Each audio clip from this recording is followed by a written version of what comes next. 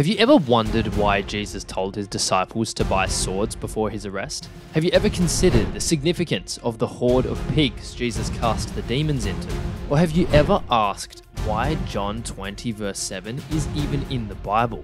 Over the past 12 months, I've come across a few theories about well known passages involving Jesus that I had trouble believing. I was certain they couldn't be true, but after studying the passages in question, my appreciation for God's word grew even more. Because of their niche cultural ties, I'm confident that not a single one of you watching right now will know all five of these deeper meanings. In fact, if you're one of the few geniuses who knew all five beforehand, comment it down below and I'll mention you in my next video. And I always forget to say it, but if you are blessed by this content in any way, please subscribe. It would mean a lot. Since all five stories involve Jesus in some way, I figured we'd start at one of my now favourite passages his temptation in the wilderness. Before learning of the gravity of this interaction between Jesus and Satan, I found the passage somewhat pointless. I just kind of assumed that there was no good reason for Jesus to even consider Satan's proposal, making the temptation somewhat easy, but I was sorely mistaken. This temptation remarkably mirrors a verse in 1 John 2:16 Watch the parallels as I read this verse. For all that is in the world, the desires of the flesh, the desires of the eyes, and the pride of life, is not from the Father, but is from the world. I want to hone in on this last temptation mentioned in Matthew's account. The devil took him to a very high mountain and showed him all the kingdoms of the world and their glory. And he said to him, All these I will give you, if you fall down and worship me. As I said before, this last temptation just sounds foolish to me. In what world would Jesus ever bow down and worship Satan when he knows God the Father? Why would he consider it at all? In fact, why would Satan bother wasting his time on such a useless attempt at the Son of God? Well, I read a few verses to investigate and discovered that I couldn't have been more wrong. This may just have been the hardest temptation a human has ever experienced in our entire history. A number of verses in the Bible tell us that Satan is currently in control of our world, and we do know from Revelation that in the end Jesus will take his place and rule the world himself. But what Satan was offering Jesus was a shortcut. Jesus could inherit the entire earth without having to go to the cross.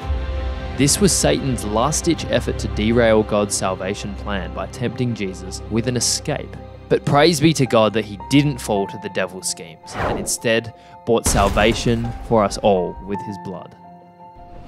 Now, our next story takes place in Gadarenes, a Gentile city, apparently full of pigs. What's with the pigs? Why did Jesus permit the demons to go into the pigs knowing they would all be drowned? Although this seems somewhat coincidental, there's actually a very powerful message being sent by this exorcism from Jesus.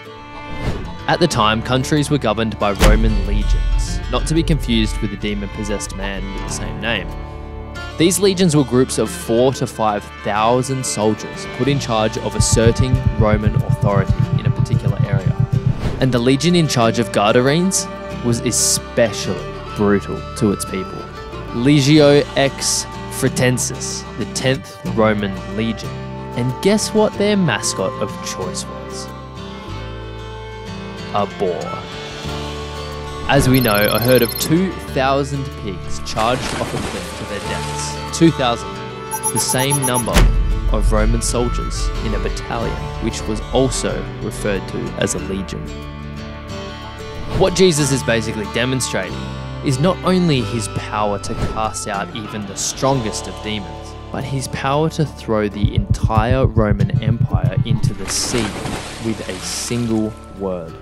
Jesus' final command to the restored man was to tell the other Gentile cities what mercy he was shown by him, as opposed to his usual response to the Jews of secrecy. I'm sure we all remember the challenging passage about money where Jesus says it's easier for a camel to enter the eye of a needle than a rich man to enter the kingdom of God, which we know is impossible. So is Jesus saying that it's impossible for the rich to make it full stop? Or maybe we've got the passage wrong altogether. See, the eye is actually referring to the gates of the cities in Jesus' time. At each gate, there were two large doors and a smaller door called the Eye of the Needle, intended for pedestrian passage only. If the larger gates were shut, a camel would have to squeeze through the smaller door by shedding its load, bowing its head, and squeezing its way through. A difficult task, but not impossible. This meaning brings so much depth to Jesus' seemingly impossible command. In order for any of us to enter the kingdom of God, we must be willing to leave behind what we're carrying, bow our head in submission to his will. One passage that always puzzled me was Jesus' command to his disciples to buy swords before his arrest. I always wondered why the disciples would need swords, and in a seemingly perfect moment to use them, Jesus condemns Peter for slashing off the ear of the high priest's servant. Even the disciples were confused as the guards closed in to arrest Jesus. They said, Lord, should we strike with our swords? So, why did Jesus ask them to bring swords if he was just going to stop them from using them? The truth is, when Peter sliced off the ear of Malchus, the servant of the high priest, he was guilty of committing a capital crime for which he would have been executed. When Jesus healed the ear, he removed any evidence of Peter's crime, meaning that even though he still tried to kill the servant, the evidence that would have brought judgment upon him was raised. And what followed was Jesus' own arrest and crucifixion.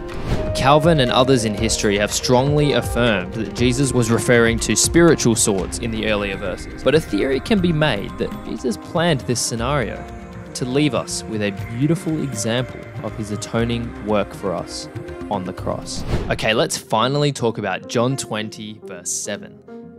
We know that every verse in the Bible is there for a reason. So, what's the reason for the verse after Jesus' resurrection reading, And the face cloth, which had been on Jesus' head, not lying with the linen cloths, but folded up in a place by itself?